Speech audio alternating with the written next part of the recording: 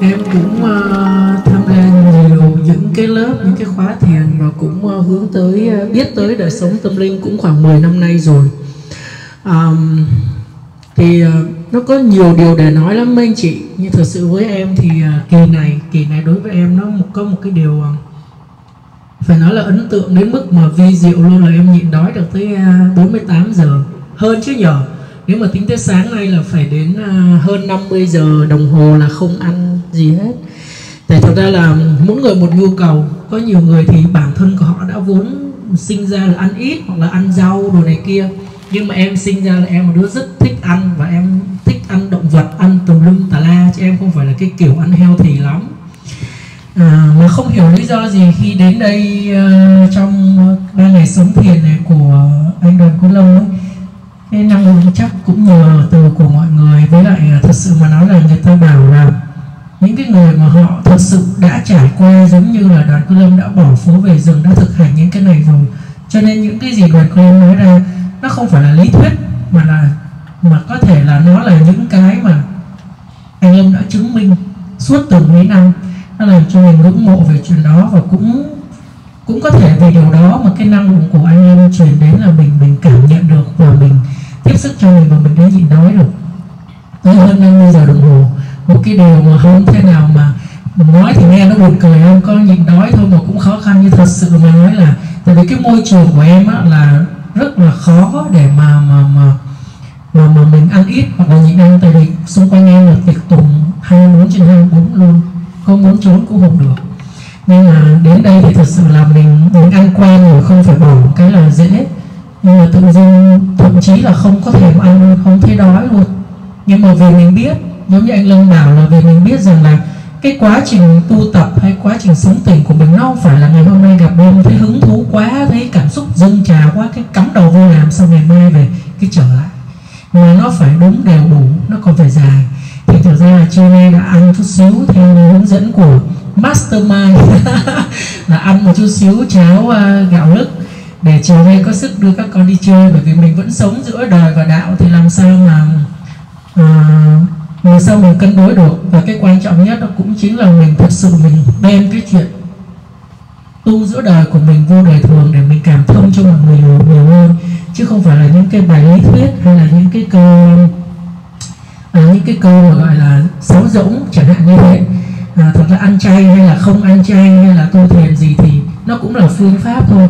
Mình thực sự có tỉnh thức hay không thì nó là những cái hành động mỗi ngày của mình đối với những người xung quanh của mình với cha mẹ của mình với con của mình và thậm chí là những cái người mà mình không có ưa họ trước đây, bây giờ mình vẫn thông cảm được.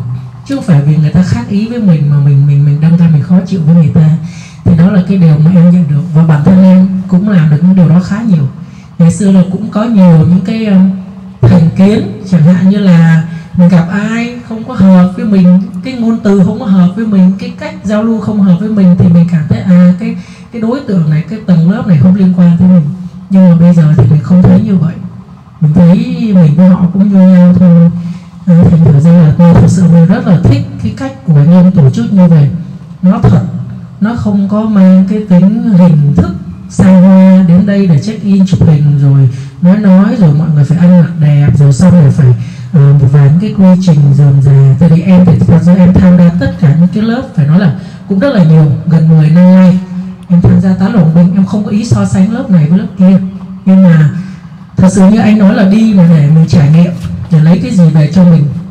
Cái quan trọng là điều đó chứ không phải là nay mình bám ở cái lớp này mai mình bám ở cái lớp khác. Và cuối cùng thì ngọc nghĩ là cái ờ, cái cộng đồng này cái môi trường này nó thật sự khiến cho phạm thấy xúc động và rất là thích. Bây giờ biết ơn anh lên và tất cả mọi người. À, xin cảm ơn chị Ngọc Phạm và có những cái chia sẻ à, rất là chân thành.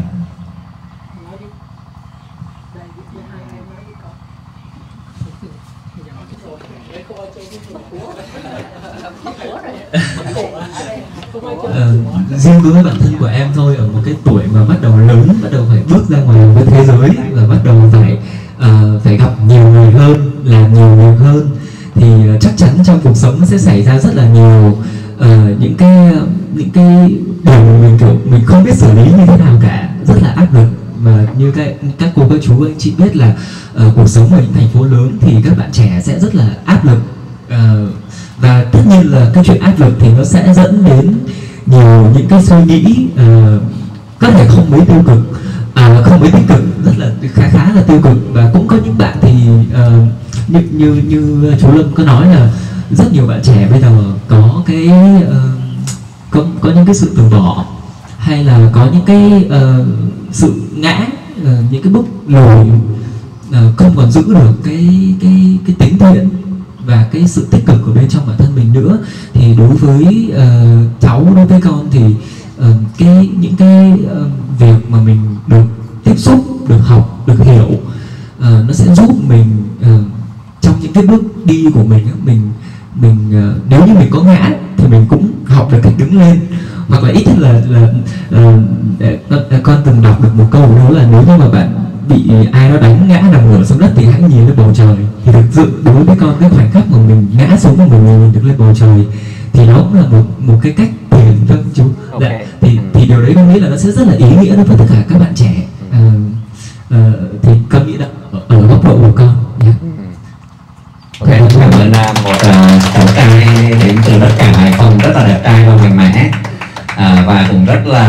không hiểu à, với một cái độ tuổi như vậy mà các cháu đã đi tiếp cận với những cái môi trường như thế này đó thì có thể các cháu chưa cần sử dụng nhiều đâu. Nhưng mà trong tương lai à, chúng ta sẽ không cấp kịp không cấp kịp giống như mấy bác cô bác lớn tuổi nhưng mà chúng ta có một cái hành trang này đó cũng rất là tốt cho ngay từ bây giờ. Bởi vì chúng ta sẽ à, gần như là chúng ta sẽ trở nên à, rất là vững vàng trong bất kỳ một cái môi trường nào. Bởi vì tuổi bởi với tuổi trẻ đó không thể nào thiếu sóng gió đâu. Không thể nào thiếu sóng gió đâu. Buộc chúng ta phải trải nghiệm sóng gió chúng ta mới trưởng thành mới mạnh mẽ hơn. Nhưng mà khi mà đối diện với những thứ đó các cháu sẽ mạnh mẽ hơn và đủ cái chất để chúng ta vượt qua. Đủ cái uh, tài nguyên để chúng ta sử dụng cho cuộc sống phong phú của mình. Xin chúc mừng và cảm ơn các cháu. Dạ vâng xin mời các anh chị.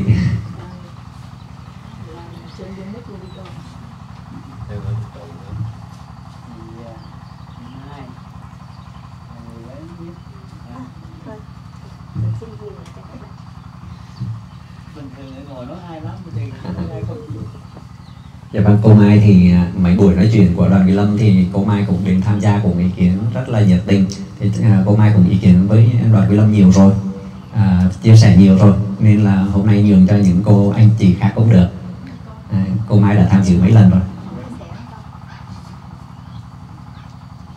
À, phát biểu một số cái cảm nhận.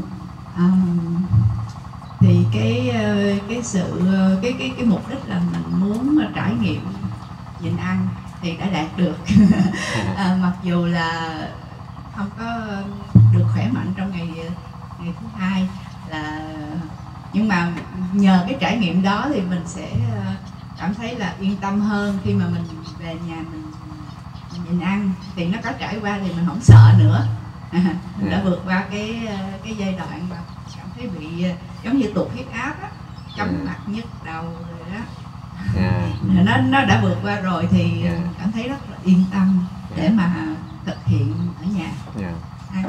và đó là một cái trải nghiệm thanh lọc cơ thể rồi nhịn ăn là rất là tốt và sau đó thì rất là tâm đắc cái cái câu nói của à, quý lâm lúc đầu là mình hiểu mình cái vấn đề rất là quan trọng khi mà mình hiểu được mình thì mình sẽ hiểu được mọi người. À. và lúc đó thì mình rất là dễ thông cảm dễ thấu hiểu với mọi người hơn.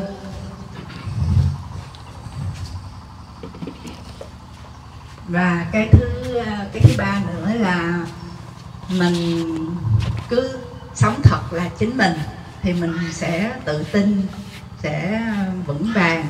Chứ nếu mà mình cứ trong các vai diễn á, thì đến một lúc nào đó mình sẽ cảm nhận là mình diễn hoài thì mình sẽ bị kiệt sức. Cho nên là từ nay trở đi là sống thật là chính mình. Thì nó sẽ giữ được cái năng lượng để cho mình bước tiếp. Rồi xin hết. Dạ vâng tuyệt vời quá. cảm ơn ơn Quý Lâm và cảm ơn tất cả các anh chị em. À, rất cảm ơn cái ý kiến của chị xinh đẹp. Chị ở trong một gia đình có truyền thống về nhìn ăn, nghĩa là bố chị đã từng áp dụng nhìn ăn rồi nên chị rất là hiểu về nhìn ăn. Nên chị chúng ta có thể dễ dàng nhìn thấy gương mặt của chị rất là thanh tú, nhẹ nhàng và lời nói cũng rất là dễ thương. À, và, à, sau, dạ vâng, chị nói tiếp ạ. À. Dạ không, cảm ơn Quý Lâm. À, vâng đó thì sau khi mà chúng ta nhìn ăn cái cơ thể chúng ta được thanh tẩy tâm trí của chúng ta được thanh tẩy đó thì chúng ta sẽ à, trở nên hiểu biết hơn rất là nhiều và dễ dễ xúc động là bởi vì cái tình yêu thương của chúng ta nó trỗi lên đó, chúng ta dễ xúc động lắm Ờ, và hầu như cái đợt nhìn ăn trước đây đoàn những năm ờ, cùng phối hợp tổ chức với một chuyên gia ở Đà Lạt đó thì là hầu như chia sẻ cuối cái kỳ nhìn ăn đó là hầu hết đều khóc. Yêu thương nhiều lắm yêu thương nhiều lắm. À, và như chị nói chúng ta làm sạch cơ thể mình nhưng chúng ta cũng làm sạch tâm trí mình bằng cái sự chân thật. Bởi vì nếu mà chúng ta đưa cái sự dối vào mình đó, đó là cũng là rác đó cũng là rác. Và chúng ta sẽ Dạ. giống như chúng ta bắt đầu kể từ bây giờ chúng ta chỉ chọn sống thật thôi. Chúng ta sẽ cảm thấy nó đã vô cùng lắm và chúng ta không còn ngã ngại nữa hết đấy một khi tao đã thật rồi bất chấp hết đã thật rồi nghe. Mọi đánh giá chỉ trích phán xét chê bai không một nghĩa lý gì hết đấy không bất không có một cái đồng cái cái cái cái, cái nghĩa lý gì đối với mình nữa hết. Nếu mình đã chọn thật sống thật và được hết là mình thật với chính mình. Mình sống thật với chính mình. Rồi mình sống thật với mọi người. Và mình nói sự thật về chính mình cho chính mình. Rồi mình nói sự thật về chính mình cho mọi người. Và mình nói về sự thật của mọi người cho mọi người. Và chúng ta chỉ luôn luôn nói thật. Như vậy là nó cũng thanh tẩy cuộc sống chúng ta nó cũng làm sạch cái cuộc sống chúng ta rất là nhiều. Và đây cũng là một cái biểu hiện của cái sự tiến hóa của chúng ta. Nếu chúng chúng ta đi đến chỗ mà chúng ta càng ngày càng chân thật hơn, thì đó cũng là một cái sự tiến tự, tăng trưởng tâm linh, tăng trưởng nhận biết. Còn nếu chúng ta vẫn cứ rối mù trong bao cái điều giả dối, thì chúng ta vẫn đang còn thụt lùi hoặc dậm chân tại chỗ. Rất tuyệt vời. Với những cái sự nhận biết bao giờ cũng rất tuyệt vời rất tuyệt vời. À, xin mời tiếp người tiếp theo.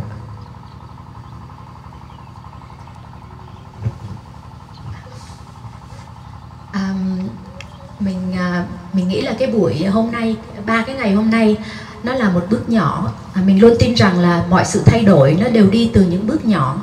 Thì ba ngày hôm nay nó là một bước nhỏ trong cái hành trình để mình tìm đến một cuộc sống giản đơn hơn à, tìm đến cái hạnh phúc tự thân à, làm cho bên trong của mình mạnh mẽ hơn. Mình thích câu nói của đức à, đạt la đại ma đúng không ạ? Đạt lai đạt ma. Đạt lai đạt ma hả? Lạt ma. Lạt ma dạ. à, khỏe không phải là nhấc lên mạnh mà đã đặt xuống nhẹ. Thì khi mình mạnh mẽ ở bên trong mình sẽ đối diện với mọi thách thức ở ngoài cuộc đời một cách thật sự là nhẹ nhàng. À, thì mình tin như vậy Ờ, ba ngày hôm nay nó là một bước nhỏ để giúp mình mạnh mẽ hơn, mạnh mẽ từ bên trong. Cảm ơn lâm và cảm ơn tất cả các bạn. Dạ vâng cảm ơn chị. Đôi khi chúng ta một bước nhỏ thôi, nhưng chúng ta rẻ sang một cái hướng đi về miền ánh sáng. Một cái lối rẽ đó, nó chỉ là một cái cái lối rẽ ờ, nhỏ xíu bay từ cái góc đó thôi, nhưng mà nó càng đi thì nó càng rộng ra. Càng đi thì nó càng rộng ra so với cái góc mà chúng ta đi sang cái hướng của bóng tối. Đúng không? Đó, đôi khi chỉ với cái lối rẽ trên đường thôi. Nhưng mà chúng ta rẽ hoàn toàn vào miền của ánh sáng. Và kể từ cái cất bước đó, chúng ta sẽ tiếp tục tiếp tục tiếp tục cái hành trình tiến bước của mình. Và càng ngày càng ngày chúng ta càng đến gần hơn với ánh sáng, với những cái sự đầy đủ có hiện diện, hiện hữu quanh chúng ta. Đức xin mời ý kiến tiếp theo. Cảm ơn chị.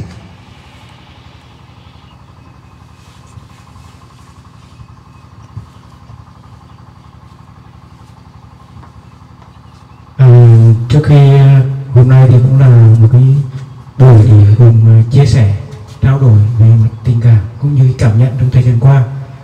Thì em cũng ờ, thay mặt gia đình và mọi người xin ờ, cảm tạ anh ờ, Đoàn Quý Long. Cảm ơn. Thì em cũng xin chia sẻ một chút. Thứ nhất về cái cơ duyên đến với tại đây em xin phép được gọi là ngôi nhà ngôi nhà chung. Thì thực sự em rất xúc động. Bởi vì là khi mà nghỉ nghĩ đến cái ờ, gọi cái thời gian đi du ngày nghỉ lễ đấy. Thực ra là bản thân em cũng rất bận. Vợ cũng là một giáo viên. Tích tâm một chút. Mà dành cho anh một tràng pháo tay động viên. Anh đến từ nghệ an rất là xa xôi. Con con trai thì ờ, chuẩn bị học theo Ừ.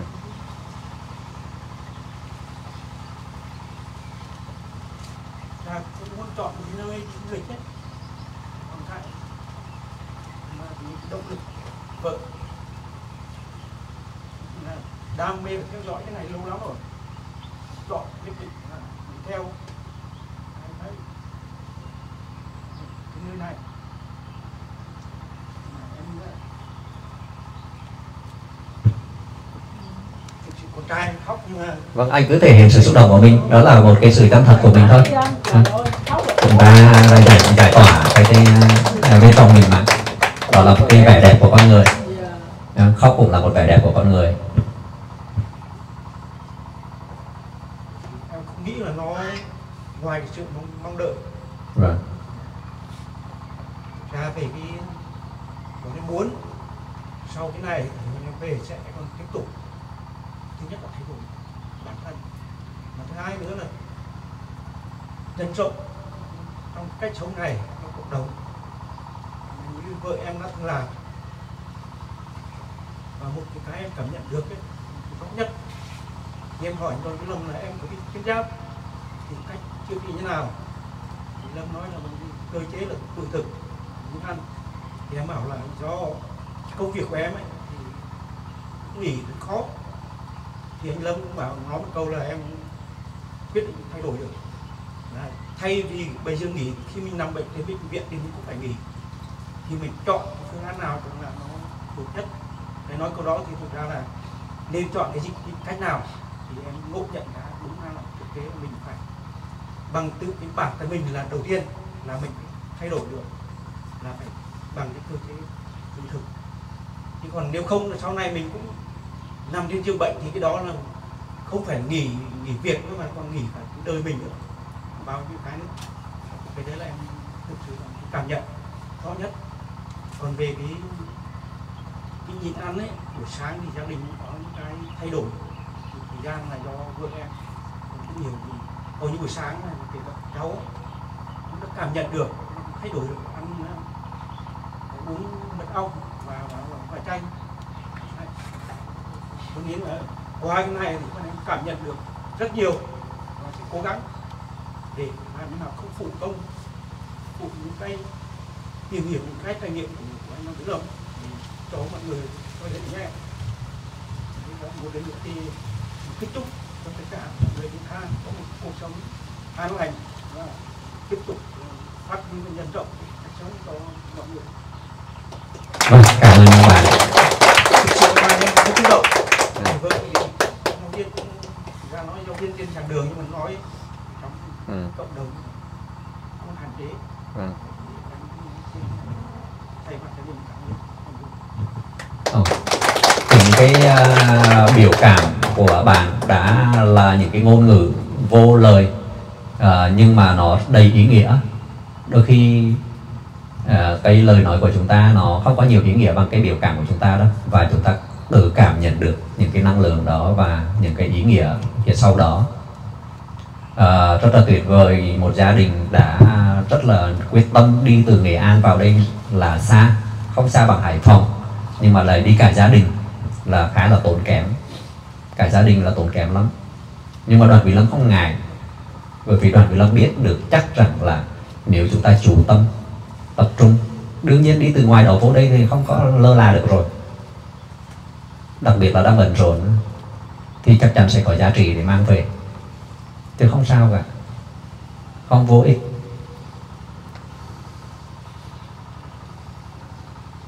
Chúc cho bạn sẽ à, lành được cái à, u ở tuyến giáp. Nó là u lành thôi nhưng mà à, nó cũng là một cái gì đó thừa trong cơ thể chúng ta. Chúng ta để cho nó được lên đường à, và chúng ta trở về với một cái cơ thể chỉ có những thứ cần thiết thôi. Những thứ không cần thiết chúng ta tạm biệt nó. Nhẹ nhàng thôi tạm biệt nó. Ha và nó sẽ từ từ rời đi thôi. Ok. Xin à, dành cho bạn gia đình ngồi nghe thời Nghệ An người ta có tay cùng cả gia đình các cháu nhỏ nữa. Rồi, xin mời ý kiến tiếp theo. Rất là nhiều yêu thương.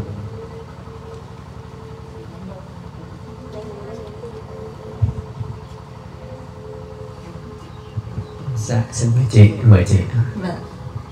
Ừm, lời đầu tiên thì à, Thi xin gửi à, lời biết ơn đến anh Đoàn Quý Lâm cùng ban tổ chức đã tổ chức ra một cái khóa học như thế này. Và biết rằng đây là cái khóa đầu tiên khi biết anh Lâm đăng trên Facebook là tự nhiên trong đầu là không còn năng tăng suy nghĩ gì cứ đăng ký trước cái đây đăng ký vì mình tin chắc rằng vì những cái kiến thức mà mình học phát triển bản thân ở ngoài kia cũng rất là nhiều rồi.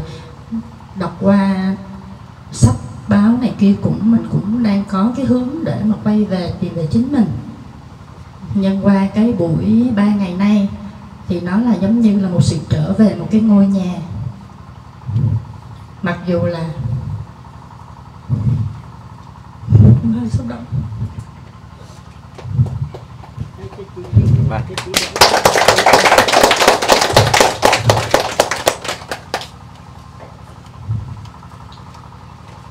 mặc dù chúng ta là ở mọi miền đất nước, nhưng mình cảm nhận được một cái sự đầm ấm. Một tình anh em mình mong rằng sẽ giữ được cái tình cảm này. Và thì như Lâm cũng nói mặc dù là chúng ta có lớn tuổi, có già có nào, nhưng chúng ta sống trong cái sự mà vô minh. Thì cuộc đời chúng ta thật vô nghĩa. Nên khi mà nhận thức được thì chúng ta giống như là một hành trình, một đứa trẻ mới bước vào đời. Thì tiên cũng có nghe một cái câu nói như thế này.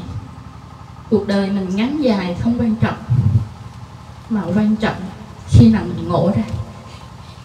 Thì ngay thời khắc mình ngộ ra thì mình cảm thấy mình đang được ngã rẽ, mình đang bước được đi vào cái con đường ánh sáng, mình mừng, mình vui lắm. Và mình cảm nhận được thì từ đây với quãng đời còn lại, mình sẽ cảm nhận được con đường hạnh phúc sống thật là như thế nào. Và và mình cũng mong rằng mình cũng sẽ, mình nhận được điều gì thì với cái tâm nguyện của mình cũng sẽ muốn được lan tỏa, chia sẻ cho rất nhiều người được biết cái con đường đó và thực ra thì Tiên nói về mà sức khỏe thì đúng là mình cũng chưa có cái nhận thức mà quan tâm tới cái vấn đề sức khỏe của mình lắm.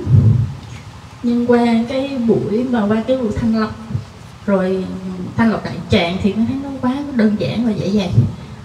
Thì nó cũng đã giúp cho em thêm một cái sự tự tin để mà về thực hành cái vấn đề mà thanh lọc đại tràng định kỳ. Để mình, khi mà thanh lọc được cái buổi mình cảm nhận được cái sự sạch sẽ ở bên trong mình thì từ đó mình cảm thấy được nó có một cái cái sự tự tin và cảm thấy mình mình nó nó nó, nó, nó trong sạch. Và từ khi mà ừ, đúng là cái, mình cũng trước đây thì cũng ăn tùm lum tà la không biết ăn chay là cái gì. Thì tiên là người đạo công giáo nên cũng không có hưởng ăn chay rồi đâu. Nhưng mà cách đây từ năm ngoái thì cũng, cũng có tham gia vào cái chương trình thanh lọc. Ừ, bốn từ 4 đến 5 ngày là nhịn ăn rồi uống nước ừ, rau củ quả vậy đó. Rồi uống dầu để mà thanh thanh lọc luôn cái gan mật vậy đó.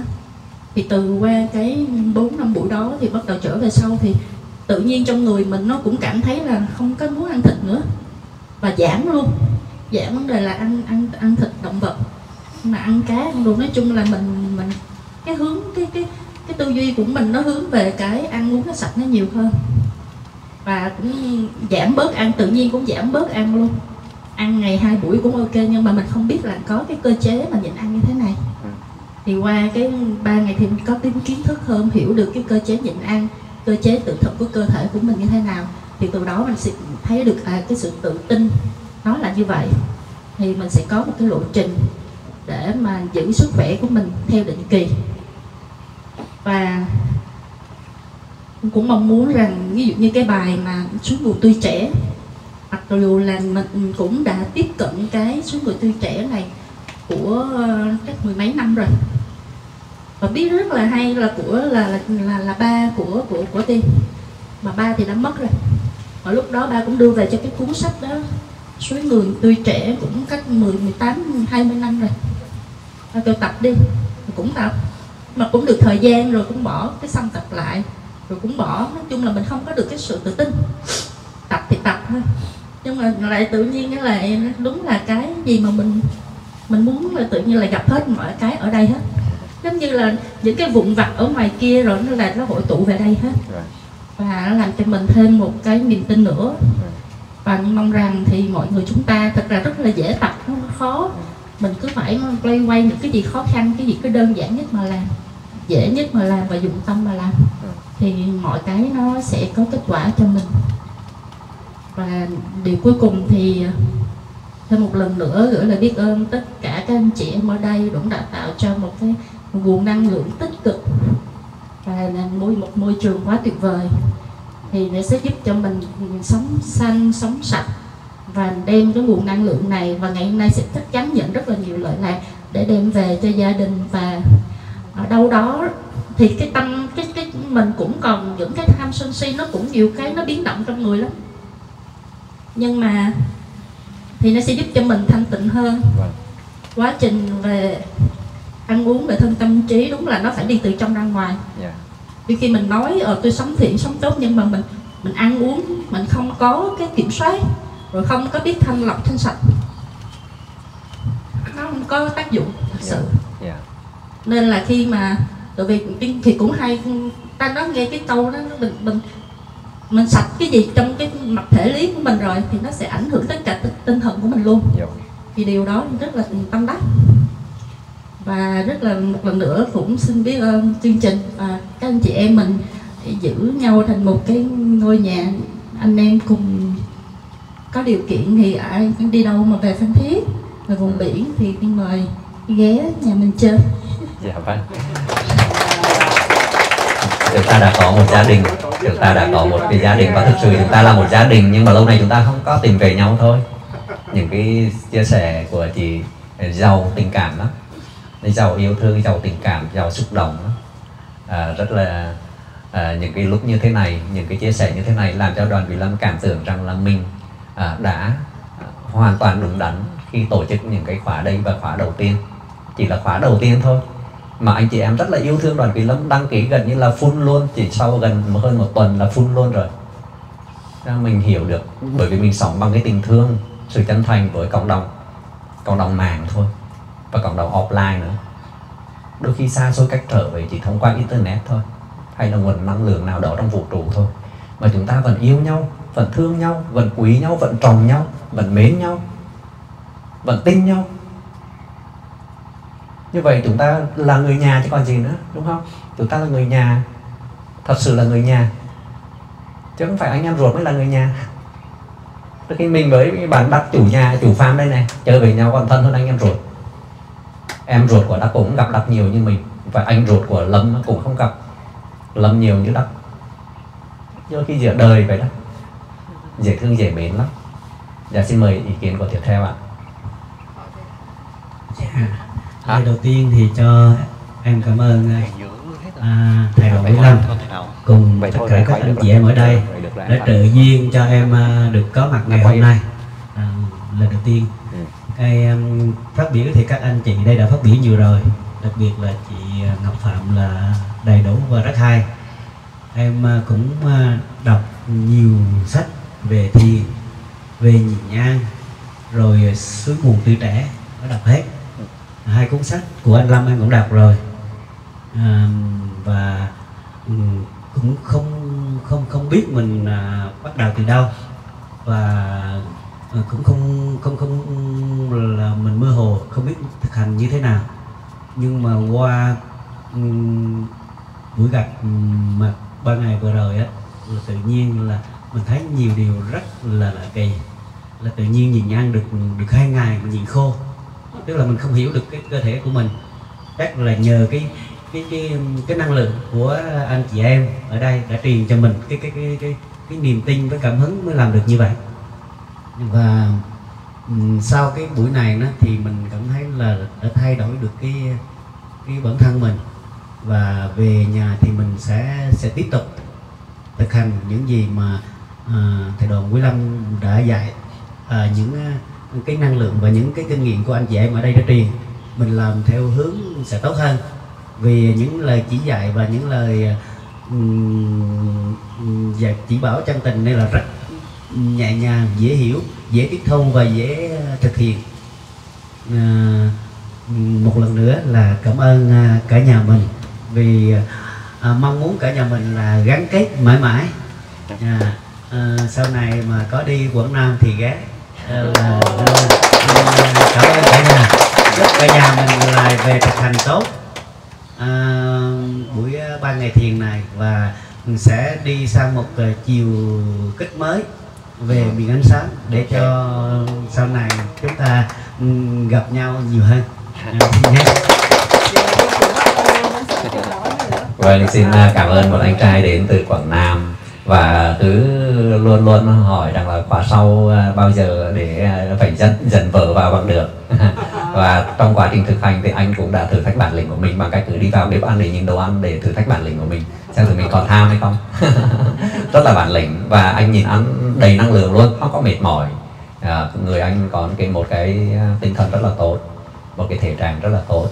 Và anh à, ứng dụng được những cái môn ở đây nữa thì anh có thể là trở thành một nguồn cảm hứng rất, rất cho rất là nhiều người uh, xung quanh cuộc sống của anh. Uh, xin chào cảm ơn. Xin uh, chắc mà mời bạn trẻ đến từ đảo. Chúng ta có một người đến từ đảo. Đảo phú quý. Vượt đảo luôn vượt biển luôn. Vượt biển. Dạ, chào mọi người. À, Em là Linh, thì em đến từ đảo Phú Quý. Thì uh, cái cơ duyên mà em biết đến anh Long á, nó không phải là vì vì thiền hay vì nhịn ăn hay vì những cái ờ, vấn đề tâm linh. Mà cái cơ duyên của em là khi em lên ờ, YouTube á, thì em search cái từ khóa là nuôi con ờ, theo phong cách homeschool. Thì tự nhiên một ra một đoạn video mà anh Lâm đã chia sẻ về cái, cái, tại sao phải nên nuôi con tại nhà thì lúc đó thì em nhắn tin cho anh Lâm luôn là em muốn ờ, tìm hiểu cái phương pháp này. Tại vì em thấy cái ờ, cái việc nuôi con tại nhà nó nó cũng là đã phổ biến nó quan trọng mà em cũng thấy là những đứa nhỏ mà cho đi học á, thì em cũng thấy là nó cũng có vấn đề gì đó. Nói chung em đó là cái cái cảm nhận của em. Và cái video đầu tiên em nhắn anh Lâm là em muốn học phương pháp các phương pháp này. Và tự nhiên ờ, khi vô cái anh Lâm thì anh Lâm nói là nếu mà có cơ hội thì anh Lâm gửi cho em cái cái chương trình khóa thiền của mình thì đọc vô những cái đó là những cái đó là những cái mà em đã tìm hiểu đó từ trước rồi rất là lâu rồi luôn. Và thậm chí mẹ em cũng là người ờ, thực hiện cái phương pháp dưỡng sinh Osawa là 6 tháng tức là ăn gạo lứt muối mì trong vòng 6 tháng để mà chữa các bệnh nhược cơ tức là cái thần kinh nó không liên kết với cái cơ á. là mẹ em không duy trì nữa mẹ em nhịn ăn 6 tháng là mẹ em hết bệnh đó. Nhưng mà có điều là mình làm kinh tế nhiều mình đi làm làm ăn nhiều quá mình không có để ý cái đó. Thiền ờ, nhịn ăn rồi mình không có để ý nhưng mình mình đã tìm hiểu cái đó rồi. Xong anh anh gửi cái cái cái, cái đó qua cái em nói ồ thì ra là những cái mình cần đều nằm ở anh Long hết. Từ homeschool từ thiền từ tất cả mọi thứ. Thì đó là lý do mà em ờ, đến đây. Và đúng là em đã có một cái môi trường cực kỳ tốt để mà thực hành những cái điều này. Nó suôn sẻ hơn là khi mình ở nhà. Ừm, với lại cái câu hỏi của em là em có câu hỏi chính của em đến đây vẫn là muốn anh muốn anh Lâm chia sẻ cách giáo dục con tại nhà và có cái khó khăn em mà em sợ nhất á là khi mà nếu sau này con ra xã hội đi Ừ. xin việc làm thì cái đó nó cũng làm sợ nó làm Ừ. còn khó khăn thì em hỏi anh Lâm như đó Ừ. là cái phương pháp dục tại nhà của Lâm Ừ, cảm ơn Linh à, một tràng pháo tay cho chàng trai từ biển đảo một cái đảo Phú Quý mình chưa đến bao giờ luôn mặc dù đi đảo Trường Sa rồi nhưng mà chưa đi đảo Phú Quý à, có có mấy lời mời rồi đó. À, có lưu trú luôn có khách sạn luôn. À, à, à. Đó, mọi người bây giờ có nhiều địa chỉ để đi du lịch rồi nha. Bạn chị Ngọc nè, nếu mà muốn sạn của em nó cách biển khoảng 20 mét thôi. À, 20 mét thôi. Khách sạn cách biển còn 20 mét thôi. Cách cái cái cái cái, cái mặt biển á. À, tức là nó gần tới mức. Gần tới mức. À, tức là mình ngồi ở, trong có thể đánh sóng. À, có cái là sóng mò vào chân mình luôn đấy. Tuyệt vời quá đảo Phú Quý cũng nổi tiếng về biển đẹp. Ừ. Ad Zalo mọi người xin nhắn tin cho mình. Ok chúng ta có trong group với nhau hết rồi cho nên chúng ta có gì sẽ nhắn cho nhau. Cộng cho khóa này 10% phí là bởi vì là phải cho đi không được đòi hỏi. Ừ. à, lát nữa à, anh sẽ trả lời cái câu hỏi của em trong cái chương trình trong cái trò chuyện à, sau khi nghe mọi người à, phản hồi ý kiến anh sẽ nói về cả cái à, cuộc sống đơn giản bỏ phố về rừng rồi unschool tự giáo dục ha. Ok em đợi một chút để xin mời ý kiến tiếp theo ạ.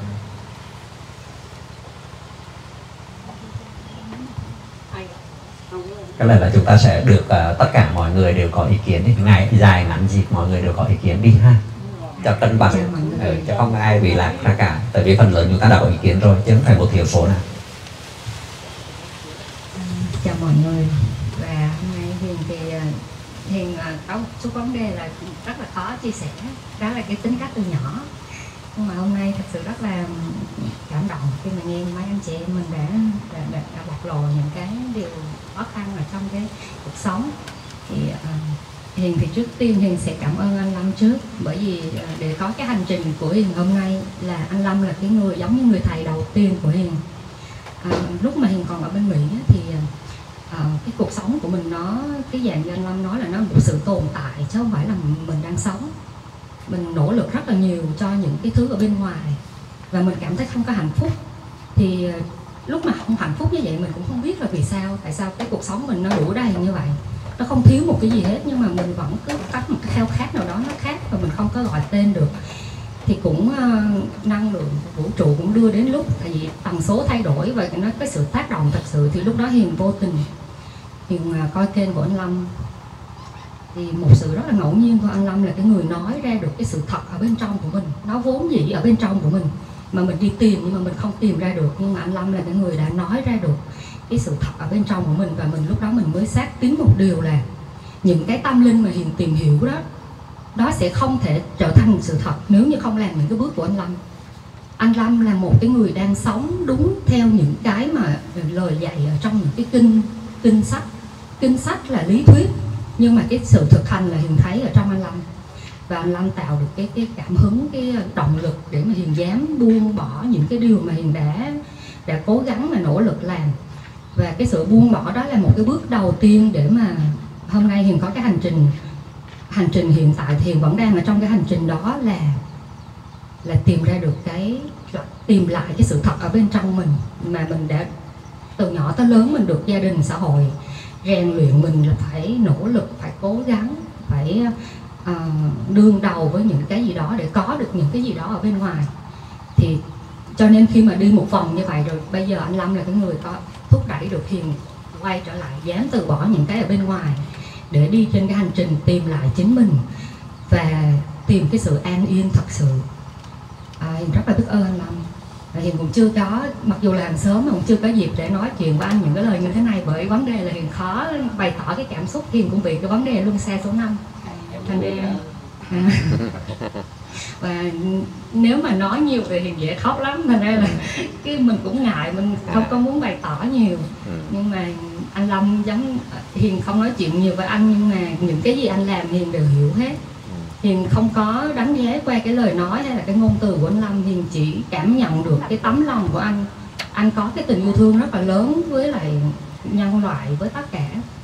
Và cái điều đó Hiền rất là mong là anh Lâm sẽ vẫn tiếp tục để mà lan truyền cái điều này. Tại vì rất nhiều người đang cần đến cái sự đánh thức đó.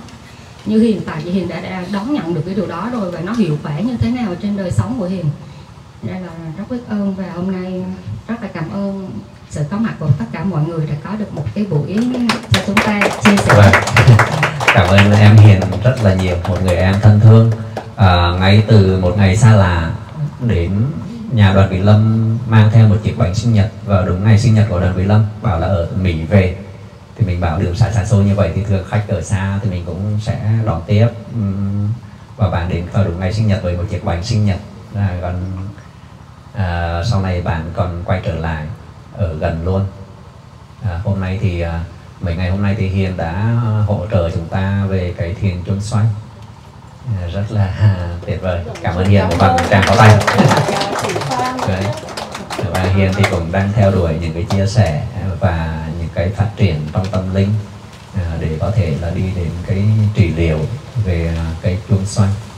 Chúc cho em à, sẽ thành công với con đường của mình. Và xin mời bạn bên cạnh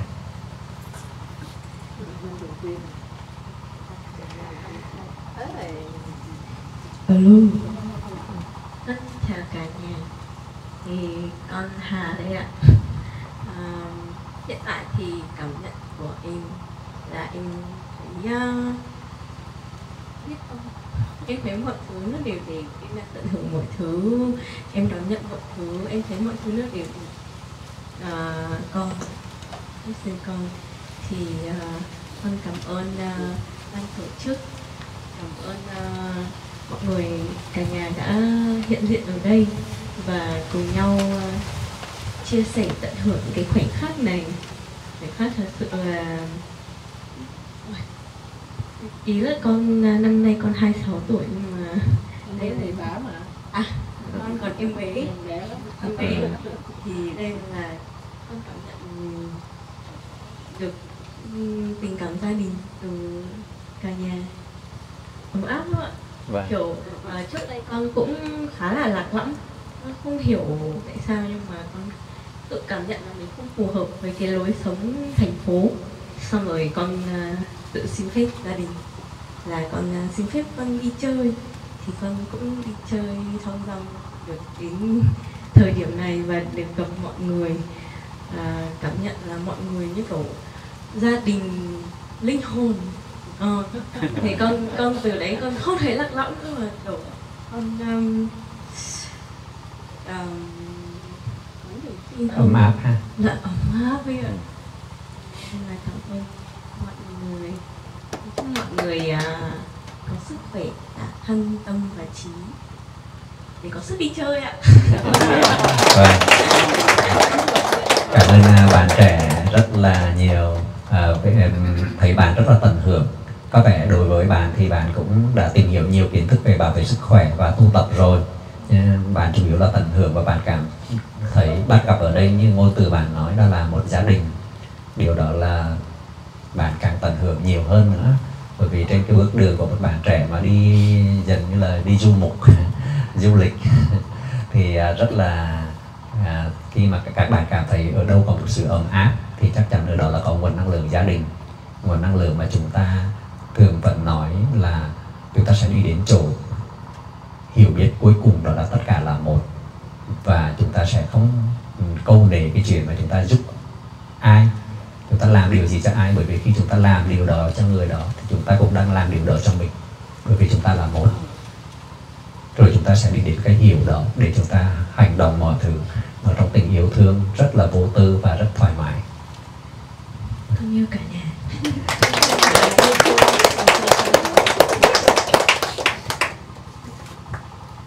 Rồi, chú xin phép. vâng xin mời à, anh. Anh không một người đi kẻ thôi nhưng mà nhiệt tình lắm. Ờ, xin phép uh, người em ở đây. Ừm, cảm ơn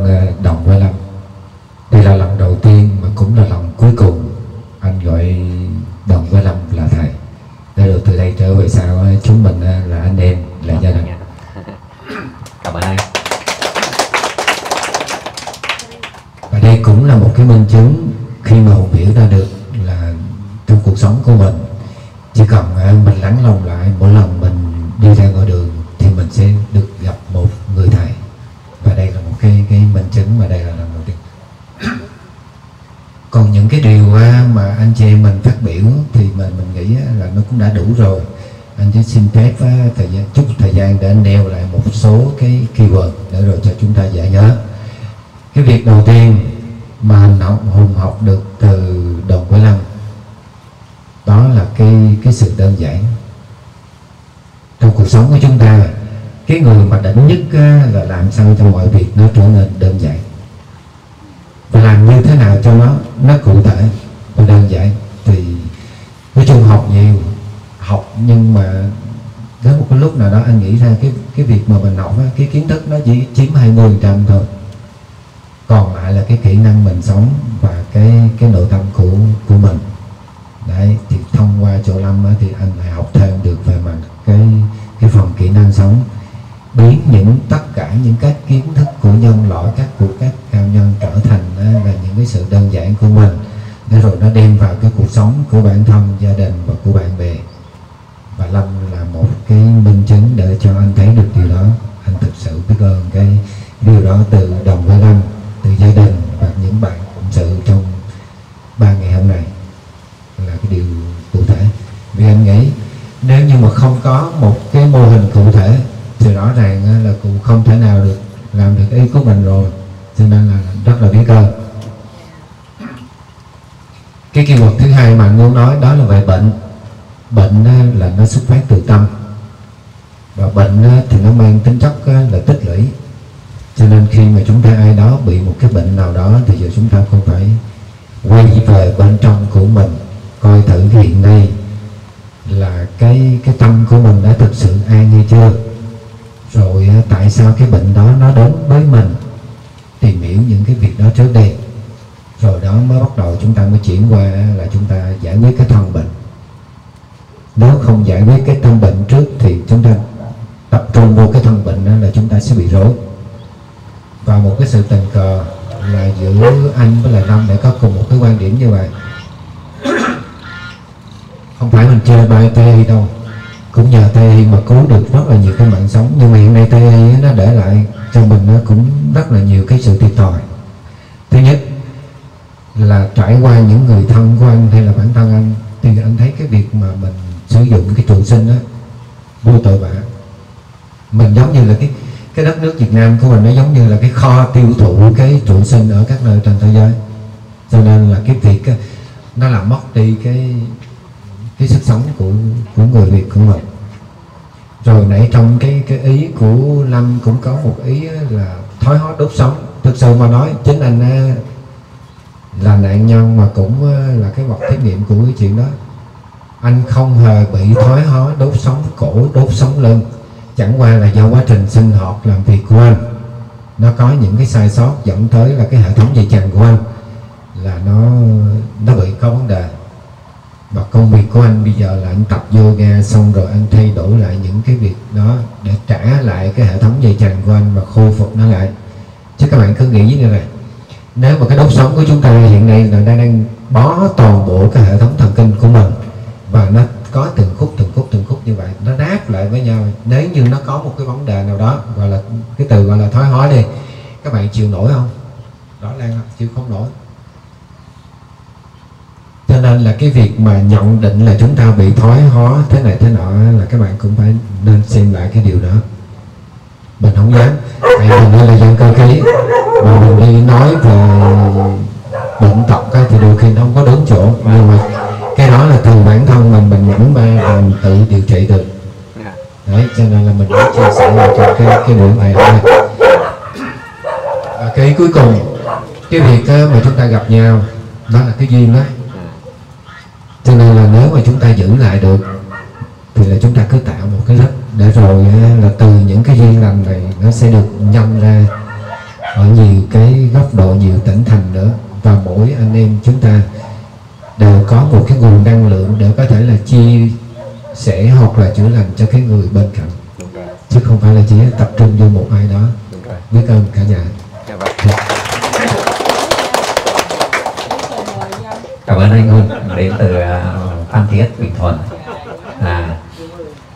một người à, có kinh nghiệm cuộc sống. À, trong cái bệnh xương sống đó thì có một cái bài mà đoàn Việt Lâm chưa chia sẻ cho mọi người bởi vì ở đây chắc là chả có ai bị bệnh xương sống. Nếu mà có bị thì à, có một cái bài tập là ngoài treo xà đơn ra thì có thể nằm trước khi ngủ bơi cái vai giữ cái mông ở trên à, trên trên thảm hoặc trên giường và bơi cái vai cho nó giảm cái lưng ra rồi ngủ. Làm như vậy nó lành nó lành bởi vì nó giảm xương sống ra bơi cái vai nằm ngửa bơi vai thế này nè ha. bơi ngửa chứ không phải bơi. Bơi ngửa khi nó đủ giãn rồi cái mông mình để cố định chân để mình để cố định thì nó sẽ giãn ra và nó sẽ trị được những cái chèn về đột sống nhá. Còn còn còn ai ý kiến à, còn ai chia sẻ nữa ta? Còn ai chia sẻ nữa? Em từ xa em nghe là à,